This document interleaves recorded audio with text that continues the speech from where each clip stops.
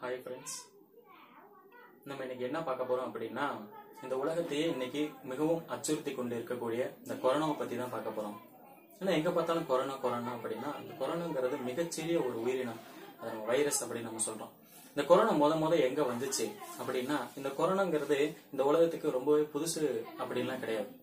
ஏகப்பட்ட இருநூறு வகையான கொரோனா வைரஸ்கள் இருக்கு. அதுல ஒண்ணு இப்ப நம்ம பாக்குறது தான் அந்த கோவிட் நைன்டீன் அப்படின்னு நம்ம சொல்றோம். என்னடா கோவிட் நைன்டீன் அப்படின்னா இந்த கோவிட்ல சிஓவிஐடி ஒரு கோடு போட்டு நைன்டீன் அப்படின்னு இருக்கும்.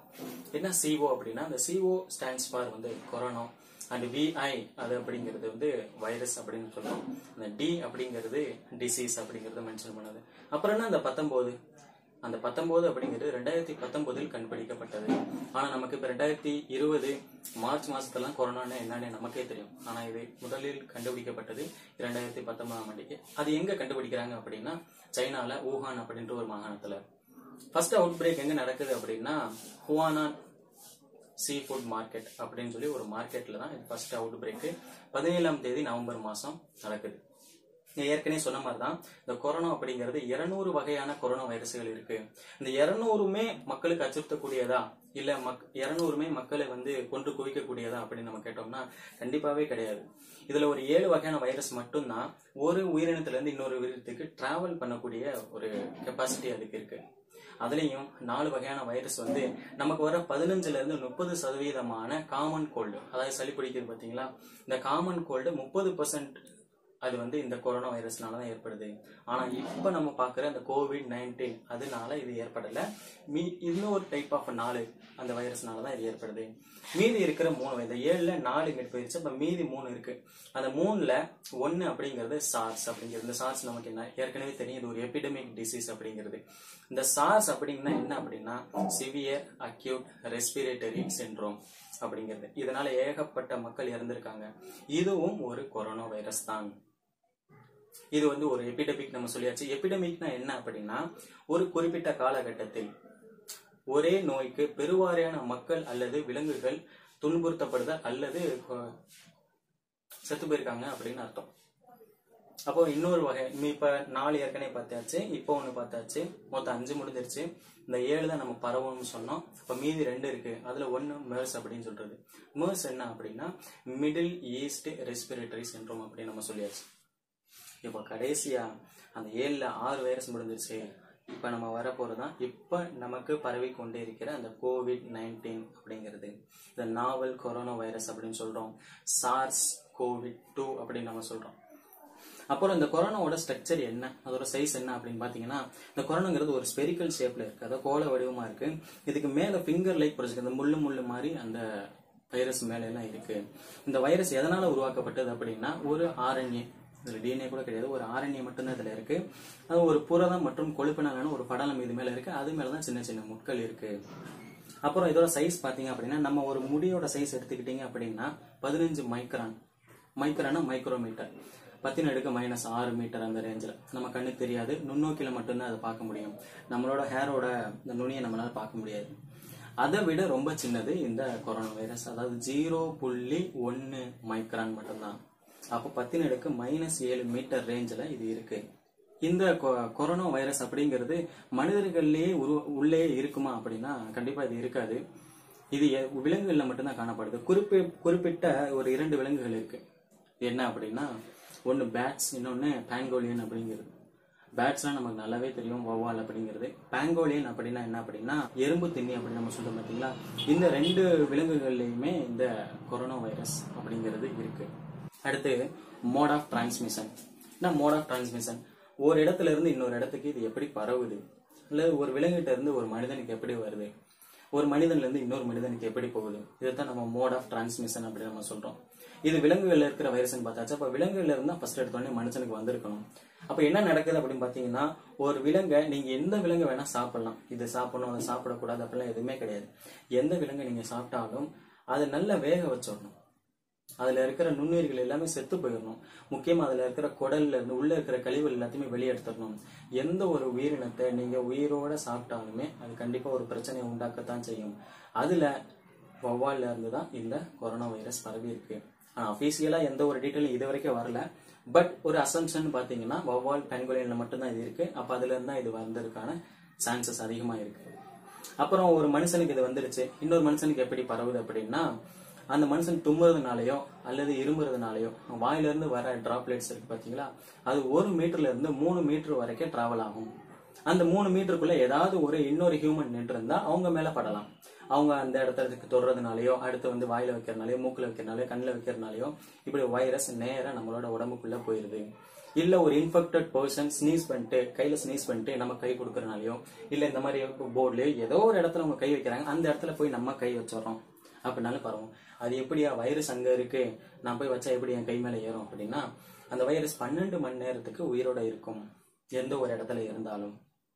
அப்போ அந்த பன்னெண்டு மணி நேரத்துக்குள்ள நீங்க தெரியாமையோ தெரிஞ்சோ அந்த இடத்துல கை வச்சிட்டீங்க அப்படின்னா கண்டிப்பா உங்க கையில வந்து அந்த வைரஸ் உட்காந்துரும் அதுல இருந்து நம்ம உடம்புக்கு ஈஸியா அது டிராவல் ஆகும்.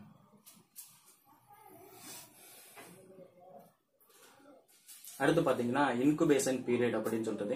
இப்ப இன்குபேஷன் பீரியட்னா என்ன அப்படின்னா இந்த வைரஸ் கிருமி அல்லது ஏதோ ஒரு நோய் தொற்று கிருமி நம்ம உடம்புல நுழைஞ்சதுல இருந்து அந்த நோய் தொற்றுனால் உண்டாகக்கூடிய முதல் அறிகுறி நமக்கு எப்ப வருதோ அதைத்தான் நம்ம இன்குபேஷன் பீரியட்னு சொல்றோம். நோய் கிருமி நுழைந்ததிலிருந்து முதல் அறிகுறி எப்போ தோன்றுதோ அதுதான் இன்குபேஷன் பீரியட்னு சொல்றோம். இந்த கொரோனா வைரஸ்க்கு இன்குபீரி இன்கு இன்குபேஷன் பீரியட் எப்போன்னு பாத்தீங்க அப்படின்னா ரெண்டு நாள்ல இருந்து பதினாலு நாள் வரைக்கும் இருக்கு. சில மனிதர்களுக்கு ரெண்டு நாள்ல இதோட அறிகுறி வெளியே தெரிஞ்சிடும் சில மனிதர் பதினாலு நாள் வரைக்கும் இந்த அறிகுறி தெரியும். அதனாலதான் கவர்மெண்ட்ல இருந்து இப்ப எந்த ஒரு வெளிநாட்டுல இருந்து வந்தாலும் அவங்க பதினாலு நாள் தனியா கண்காணிப்புல வச்சிருக்காங்க. அதிகப்படியான மக்களுக்கு வந்து இது வந்து ஐந்து நாட்கள் தான் இன்குபேஷன் பீரியடா இருக்கு. சரியா? இப்படி வைரஸ் உள்ள போயிருச்சு. உள்ள போய் என்னதான் நடக்குது அப்படின்னா இந்த வைரஸ் ஒவ்வொரு வைரஸுக்குமே ஒவ்வொரு இடத்தை தாக்கக்கூடிய சக்தி இருக்கு. இப்போ இந்த வைரஸ்னு பாத்தீங்கன்னா ஃபிங்கர் லைக் ப்ரொஜெக்ஷன் இருக்குன்னு சொல்றோம் பாத்தீங்களா? இது ஒட்டும் தன்மை உடையது நேச்சுரலாகவே இந்த கொரோனா அப்படிங்கிறது தானாகவே உணவு தயாரித்து நம்ம ஏற்கனவே படிச்சிருக்கோம் பார்த்தீங்களா அந்த மாதிரி தானாகவே உணவு தயாரித்து தானாகவே சாப்பிடும் அப்படிலாம் எதுவுமே கிடையாது. இது ஒரு ஒட்டுண்ணி இப்போ நம்ம வெளியே போகிறோம் ஒரு அட்டை ஒட்டிக்குது. அந்த அட்டை வந்து நம்ம உடம்புல இருக்கிற ரத்தத்தை உறிஞ்சு வரும். அது ஒட்டுண்ணின்னு சொல்கிறோம்ல அதே மாதிரி தான் இதுவும். இது பல்கி பெருகிறதுக்கு வந்து ஒரு ஊடகம் தேவை. அந்த ஊடகத்தை நம்ம உடம்பை யூஸ் பண்ணிக்கும். அல்லது இது எங்கே போகுதோ அந்த இடத்த வந்து இது ஊடகமாக பயன்படுத்திக்கும். இதுக்கு ஒரு லிவிங் செல் வேணும். அதாவது வாழுகின்ற ஒரு செல் வேணும். அந்த செல்லுக்குள்ளே போய் தான் இது ரெப்ளிகேட் ஆகி பல மட பல பல்கி பெருகி வெளியே வரும். அப்போ எந்த இடத்த இது அதிகமாக சூஸ் பண்ணுது அப்படின்னா இதுக்கு ரொம்ப கரெக்டாக ஃபிட் ஆகிற பிளேஸ்னு பார்த்தீங்கன்னா அந்த ரெஸ்பிரேட்டரி ட்ராக் அப்படின்னு நம்ம சொல்கிறோம் ரெஸ்பிரேட்டரி ட்ராக்னா அந்த மூச்சு மூச்சு குழல்னு சொல்கிறோம் பார்த்தீங்களா இந்த இடத்துல வர இந்த ரெஸ்பிரேட்டரி ட்ராக் இந்த இடத்துல இருக்கிற ஒரு செல்லில் இது உள்ளே இன்ஜெக்ட் ஆகி உள்ளே போயிடுது போனதுக்கப்புறம் என்ன ஆகுது அப்படின்னா உள்ள ரெண்டு மூணா ரெண்டா நாலா எட்டா பதினாறா இப்படி கண்டினியூஸாக பல்கி பெருகிட்டே இருக்கு. குறிப்பிட்ட சூழ்நிலையில் அந்த செல்லவே கிழிச்சுக்கிட்டு வெளியே வந்துடுது. அப்போ ரெஸ்பிரேட்டரி ட்ராக்ல இருக்கிற ஒவ்வொரு செல்லுமே இதே மாதிரி தான் சிதைந்து சிதைந்து சிதைந்து அந்த இடமே மிகவும் ஒரு இன்ஃப்ளமேஷன் இன்ஃப்ளமே ஒரு வீக்கம் ஏற்படும். அல்லது சுவாசிக்கிறதுல ஒரு அழுத்தம் ஏற்படும். இதைத்தான் நம்ம நோய் அறிகுறி அப்படின்னு நம்ம சொல்றோம். இதுதான் இந்த வைரஸ் கிருமி. நமக்குள்ள போனதுக்கு அப்புறம் நடக்கிறது. அப்போ நம்ம உடம்புக்குள்ள இம்யூன் சிஸ்டம் இருக்கே அது எதுவுமே பண்ணாதான் அப்படின்னா கண்டிப்பா இப்ப ஏதாவது ஒரு ஃபாரின் பாடி நம்மளோட உடம்புக்குள்ள வருது அப்படின்னா ஃபர்ஸ்ட் நம்மளோட இம்யூன் சிஸ்டம் தான் என்ன பண்ணும்? அதை எதிர்த்து அதை வெளியே அனுப்பும். இப்போ சாதாரணமா நமக்கு ஒரு காய்ச்சல் வருது அப்படின்னா ஏன் வருது? ஒரு நோய் கிருமி உள்ள போயிடுச்சு எந்த ஒரு நோய் கிருமியாக இருந்தாலும் அதிகமான வெப்பநிலையில் அது உயிர் வாழ முடியாது. உடனே உடம்ப சூடாக்கி அந்த நோய் கிருமியை வெளியே அனுப்பும். இதுக்கு பேர் தான் காய்ச்சல். இதுக்கு நம்ம மருந்து சாப்பிடணுன்ற எந்த ஒரு அவசியமே கிடையாது. காய்ச்சல் வந்தால் உடம்புக்கு ரொம்ப நல்லது நோய் கிருமி வெளியே போகுதுன்னு அர்த்தம். அப்போ இதே மாதிரி இந்த கொரோனா வைரஸ் ஏன் வெளியே போக மாட்டேது? உடம்பு சூடாகுது காய்ச்சல் வருது நேகப்பட்ட அறிகுறிகள் தெரியுது. அப்போ உடம்பு தன்னை தானே குணப்படுத்திக்காதா அப்படின்னா கண்டிப்பாக குணப்படுத்திக்கும். யார் யாருக்கு இம்யூன் சிஸ்டம் ரொம்ப ஸ்ட்ராங்காக இருக்கோ கண்டிப்பாக அவங்க இதுலேருந்து பொழைச்சிக்க முடியும். இப்போ யார் யாரெல்லாம் பொழைக்க முடியாது அப்படின்னா மிகவும் சிறிய குழந்தைகள் அறுபது வயது ஐம்பது வயதுக்கு மேலே இருக்கிற முதியவர்கள் இவங்களுக்கு நேச்சுரலாகவே இம்யூன் சிஸ்டம் ரொம்ப கம்மியாக இருக்கும். அப்போ கண்டிப்பாக அவங்களால இதுலேருந்து மீண்டு வர்றது ரொம்ப ரொம்ப கஷ்டம். அவங்க சைடாக ஒரு மெடிக்கல் ட்ரீட்மெண்ட் இருந்தாலும் இம்யூன் சிஸ்டம்ங்கிறது கண்டிப்பாக இருக்கணும். அப்படி இருந்தால் தான் இதுலேருந்து அவங்க தப்பிச்சு வர முடியும்.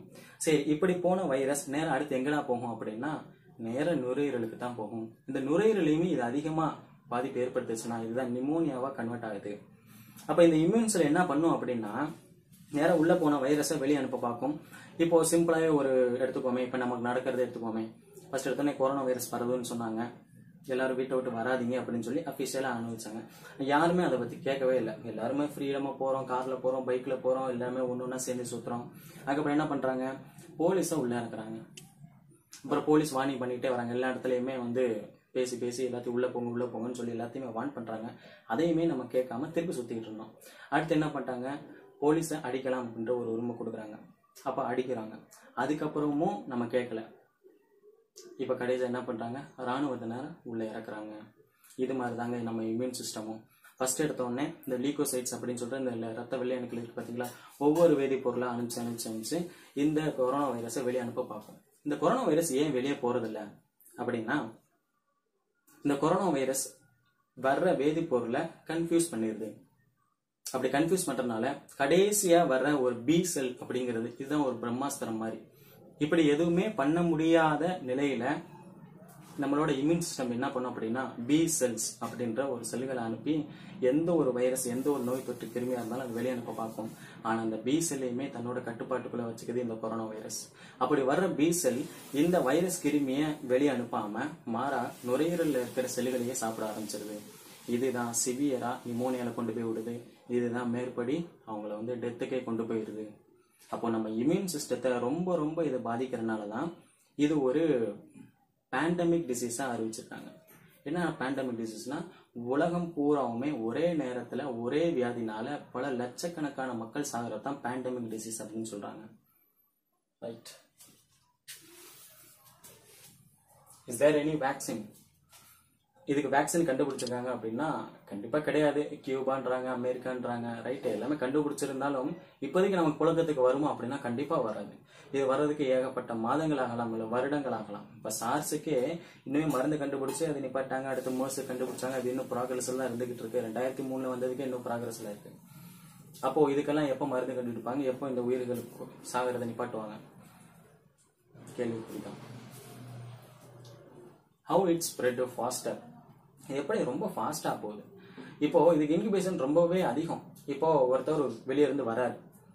அவர் வெளிநாட்டுல இருந்து வராரு. அவருக்கு கொரோனா வைரஸ் இருக்கு இல்ல யாராலே கண்டுபிடிக்கவே முடியாது. அந்த மாதிரி ஃபெசிலிட்டி இந்தியாவில் கிடையாது. அப்போ அவருக்கு இருக்குன்னு அவருக்குமே தெரியாது. அப்போ அவருக்கு இருக்குன்னு சொல்லி கவர்மெண்ட்டுக்குமே தெரியாது. அவர் பாட்டுக்கு உள்ள வராரு.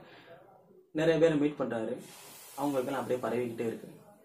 அப்போ இது வந்து தடுத்து நிறுத்தவே ரொம்ப ரொம்ப கஷ்டம். மெடிக்கல் ஃபெசிலிட்டி ரொம்ப அதிகமாக இருக்கிற யூஎஸ்ஏ இட்டாலியில என்ன நிலைமைன்னு நமக்கு தெரியும். ஆனால் இந்தியாவில் அப்படி ஒரு ஃபெசிலிட்டி கண்டிப்பாகவே கிடையாது. அப்போது ஃபாஸ்ட்டாக இருக்கத்தான் செய்யும். ஏஜ் குரூப் டெத்து ஏற்கனவே இதை நம்ம பார்த்துட்டோம். எந்த ஒரு ஏஜ் குரூப்புக்கு இம்யூன் சிஸ்டம் ரொம்ப கம்மியாக இருக்கும் அப்போ நானும் சாக மாட்டேன் அப்படி எனக்கு இருபத்தஞ்சு வயசு தான் ஆகுது நான் சாக மாட்டேன் அப்படின்னா கண்டிப்பாக அப்படி கிடையாது. இம்யூன் சிஸ்டம் யாருக்கு ரொம்ப ஸ்ட்ராங்காக இருக்கோ கண்டிப்பாக அவங்க பிழைச்சிப்பாங்க இம்யூன் ரொம்ப வீக்கா இருக்கிறது அப்படின்னா யார் யாருக்கு? அவங்களுக்கு ஏற்கனவே ஆஸ்துமா இருந்திருக்கலாம். நுரையீரல் சம்பந்தமான ஏதாவது ஒரு பிரச்சனை இருந்திருக்கலாம். அல்லது டயபெட்டிஸ் இருக்கலாம். இல்ல வேற ஏதாவது ஒரு சிவியரான ப்ராப்ளம் அவங்க உடம்புல இருந்துகிட்டே இருக்கலாம். அவங்க எல்லாம் கண்டிப்பா இதுல இருந்து மீண்டு வர்றது ரொம்ப ரொம்ப ரொம்ப ரொம்ப ரொம்ப கஷ்டம். How can we overcome இது சிம்பிள் தான். இதை கடைசியாக வச்சுக்கோமே இது முன்னாடி போனாங்க நல்லா இருக்காது. இது லாக்டவுன் இஸ் நெசசரி கண்டிப்பாங்க. கண்டிப்பா இது நெசசரி தான். ஏன் அப்படின்னு சொல்றோம்னா இதுல மூணு நிலைகள் இருக்கு. இப்போ வெளிநாட்டில் தான் இது அதிகமாக பரவி இருக்கு. இப்படி பரவுறது தெரிஞ்சு வெளிநாட்டவர்களாக நம்ம இந்தியாவுக்கு வர்றாங்க. அதாவது இந்தியாவிலேருந்து போன வெளிநாட்டவர்கள் இந்தியாவுக்கு திருப்பி வர்றாங்க. அப்படி அவங்க வர்றது வந்து நிலை ஒன்றுன்னு சொல்கிறாங்க அப்படி வர்றவங்கள நோய் தொற்று இருக்குன்னு சொல்லி கண்டுபிடிக்கிறது நிலை ஒன்று அப்போ அவங்க ஐசோலேட் பண்ணியாச்சு. ஆனால் எல்லாத்தையும் ஐசோலேட் பண்ண முடியுமானா? கண்டிப்பாக பண்ண முடியாது. அவங்க அதில் நிறைய பேர் வந்து ஏரியாக்குள்ளே வந்துடுறாங்கன்னு வச்சுக்கோமே. இப்போ நம்ம ஏரியாக்குள்ளே வந்துட்டாங்க. இப்போ எங்க ஏரியா எங்க வீட்டில் ஒருத்தவங்க வராங்க அப்படின்னா கண்டிப்பா நான் அவங்கள்ட்ட பேச போறேன். அவங்களுக்கு நோய் தொற்று இருக்கா இல்லையான்னு எனக்கு தெரியாது. அவருக்கும் தெரியாது. அப்ப நான் அவர்கிட்ட போய் பேச போறேன். அவர்கிட்ட ரொம்ப நெருங்கி உட்காடுறேன் போறேன் சாப்பிட்றேன் விளாட்றேன் இது மூலமா எனக்கு பரவும். இது வந்து நிலை இரண்டு அப்படின்னு சொல்றாங்க. நோய் தொற்று காணப்படுதல் அப்படிங்கிறது ஒண்ணு. அப்படி நோய் தொற்று இருக்கிறவங்கள்ட்ட இருந்து இன்னொருத்தவங்களுக்கு பரவுறது நிலை ரெண்டு அப்ப நிலை மூணு போயிடுச்சுன்னா ரொம்ப சிவியர்ன்றாங்க என்னடா நிலை மூணு அப்படின்னா இப்போ பக்கத்து ஊர்ல ஒரு திருவிழா இல்ல காது குத்து இல்ல திருமண விழா ஏதோ ஒண்ணு இருக்கு. அதுக்கு நான் போறேன். அப்போ நிறைய மக்கள் அங்க கூடியிருக்காங்க. ஒரு நபர்கிட்ட இருந்து கிட்டத்தட்ட ஐம்பது அறுபது எழுபது நபர் ஆயிரக்கணக்கான நபர்களுக்கு பரவுறதா நிலை மூணு. இந்த மாதிரி நிலை மூணு வந்துருச்சுன்னா ரொம்ப ரொம்ப கஷ்டம். இதை தடுத்து நிப்பாட்டுறது அப்படிங்கிறது யாராலையுமே முடியாது. அதனால கண்டிப்பாக லாக்டவுன் அப்படிங்கிறது நெசசரி தான். இந்த லாக்டவுன் நூற்றி நாற்பத்தி நாலு அப்படின்னு சொன்னது இது ஒரு விடுமுறை கிடையாது. சொந்தக்காரங்க வீட்டுக்கு போகிறதோ அல்லது பக்கத்து ஊர் தான் எங்கள் சொந்தக்காரவங்க. அவங்க வீட்டில் போய் நான் அஞ்சு நாள் ஜாலியாக இருந்துட்டு வரேன். அங்கே போய் கிணத்துல குளிக்கிறேன். கண்டிப்பாக அதை தவிர்த்துருங்க. வீட்டிலே இருங்க. ஏன் வீட்டில் இருக்குன்னு சொல்கிறோம்னா இதுக்கு தடுப்பு மருந்து கிடையாது. இது நோ இம்யூன் சிஸ்டம் அதிகமாக இருந்தால் மட்டும்தான் இது வந்து நம்மளை காக்க முடியும். அப்போது வராமல் இருக்கணும் அப்படின்னா சாம ஒரு இருபது நாள் வீட்டுக்குள்ளேயே இருந்துக்கிறது ரொம்ப ரொம்ப நல்லது. Can mask or kerchief is useful கண்டிப்பாகவே கிடையாது. கர்ச்சிப் எடுத்து கட்டிக்கிறதுனாலையோ ஒரு மாஸ்க் எடுத்து போகிறதுனாலையோ கண்டிப்பாக உங்களுக்கு கொரோனா வராது அப்படின்னு சொன்னால் அது ஒரு முட்டாள்தனம். முட்டாள்தனத்தின் உச்சகட்டம்னு கூட சொல்லலாம். என்ன கர்ச்சிப் அப்படிங்கிறது? கர்ச்சிப்பில் இருக்கிற அந்த ஓட்டையெல்லாம் பார்த்தீங்கன்னா இப்போ ஒரு வீடு இருக்குது அந்த வீட்டுக்குள்ளே உங்களால் ஈஸியாக நுழைய முடியும். வீடு வேணாமே ஒரு அரண்மனை இருக்கட்டும். அந்த அரண்மனையில் நுழைவாயில் எவ்வளவு பெருசா இருக்குன்னு உங்களுக்கு தெரியும். அந்த நுழைவாயில்ல ஒரு மனுஷன் ஈஸியா போறது ரொம்ப ரொம்ப சுலபமான விஷயம். அந்த மாதிரி தான் ஒரு கர்ச்சிப்ல இருக்கிற ஹோல் வழியா லட்சக்கணக்கான வைரஸ் ஈஸியா உள்ள போக முடியும். கர்ச்சிப் எடுத்து கட்டுறதுனால பள்ளி வேணா உள்ள போகாம இருக்கலாம். இல்ல ஈ கொசு வேணா உள்ள போகாம இருக்கலாம். வைரஸ் கண்டிப்பா உள்ள போகும். நோ யூஸ்ஃபுல் மாஸ்க் அந்த மாஸ்க்லயுமே வந்து டூ டைப்ஸ் ஆஃப் மாஸ்க் நிறைய மாஸ்க் இருக்கு. அதுல ரெண்டு டைப் மட்டுமே எடுத்துக்கோமே நம்ம. சர்ஜிக்கல் மாஸ்க்னு ஒன்று இருக்கு. என் நைன்டி ஃபைவ் அப்படின்னு ஒரு மாஸ்க் இருக்கு. சர்ஜிக்கல் மாஸ்க் அப்படின்னு நீங்க எடுத்துக்கிட்டீங்க அப்படின்னா அது ஒன் டைம் யூஸபிள் அது கண்டிப்பா வைரஸ் கிருமியை தடுத்து நிப்பாட்டுமானா கண்டிப்பா கிடையாது. அது ஒன் வே மட்டும்தான். நீ உங்களுக்கு கொரோனா வைரஸ் இருக்கு அப்படின்னா நீங்க அதை போட்டுக்கிட்டீங்கன்னா நீங்க இருமும் பொழுது உங்களோட டிராப்லெட்ஸ் அந்த மாஸ்க்லயே தடுத்து நிப்பாட்டப்படுமே தவிர வெளியே இருந்து வர கொரோனா வைரஸ் உள்ள போக கண்டிப்பா அலோவ் பண்ணும். அப்போ சர்ஜிக்கல் மாஸ்க்குமே இதுல எந்த ஒரு யூஸுமே கிடையாது. அப்புறம் என் நைன்டி ஃபைவ் அப்படின்னு இருக்கு. என்னடா நைன்டி ஃபைவ் நைன்டி ஃபைவ் அப்படின்னா ninety five percentage of virus அதை தடுத்து நிப்பாட்டிரும். இது ரெஸ்பிரேட்டர்னு சொல்லுவாங்க. அது பேர் மாஸ்க் கிடையாது.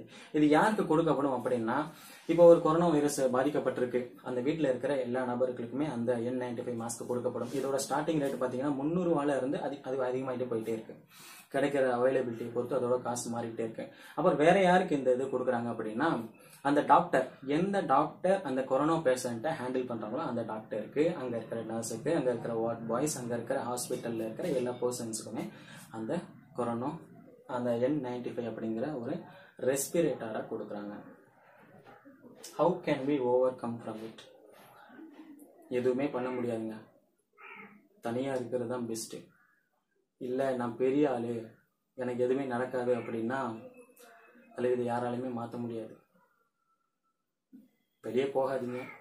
வெளியே சுத்தாதீங்க. வெயில் அதிகமாக இருந்தால் கொரோனா வைரஸ் வராது. மஞ்சள் உடம்புல தேய்ச்சிக்கிட்டால் கொரோனா வைரஸ் வராது. அப்படிலாம் நினைக்கிறது வந்து ஒரு முட்டாள்தனம். படித்தவங்க யாருமே இந்த செயலை செய்ய மாட்டாங்க. இதுலேருந்து நான் எப்படி வெளியே வர்றது அப்படின்னா இதுலேருந்து விடுபடுவது எப்படி அப்படின்னா கண்டிப்பாக ஒரு வருமுன் காப்பதே மிகவும் சிறந்தது அப்படின்னு நம்ம சொல்லுவோம். அப்போது அந்த நோய் கிருமி வந்ததுக்கப்புறம் அதுலேருந்து போராடுறத விட அது வராமல் பார்த்துக்கிறது ரொம்ப ரொம்ப நல்லது அப்படின்னு நான் சொல்கிறேன் நீங்கள் உங்கள் செல்ஃப் ஹைஜீனோடு இருக்கணும். இப்போ இந்த கொரோனாவோட ஸ்ட்ரக்சரை பத்தி சொல்லும்போது நான் சொன்னேன் இதுல புரதமும் கொழுப்பும் நிறைந்தது தான் அந்த மாதிரி இருக்கிற ஒரு வைரஸ் ஈஸியாவே சோப்போ சானிடைசரோ இதெல்லாம் யூஸ் பண்ணும்போது கண்டிப்பா செத்துருது. அடிக்கடி உங்கள் கையில சோப்பாவோ இல்லை கழுவுங்க. இதனால அந்த வைரஸ்ல இருந்து நீங்க ஈஸியாவே வெளியே வந்துடலாம். அந்த வைரஸ் கிருமி தாக்காம நீங்க பாத்துக்கலாம். ரெண்டாவது வீட்டிலேருந்து இருந்து வெளியே போகாம அவசர தேவைக்கு மட்டும் வெளியே போங்க. Right stay home be safe வேறு ஒரு வீடியோவில் நம்ம பார்ப்போம். நன்றி வணக்கம். இந்த சேனலை சப்ஸ்கிரைப் பண்ணாதவங்க சப்ஸ்கிரைப் பண்ணுங்கள் லைக் பண்ணுங்கள் கமெண்ட் பண்ணுங்கள் ஷேர் பண்ணுங்கள் நன்றி வணக்கம்.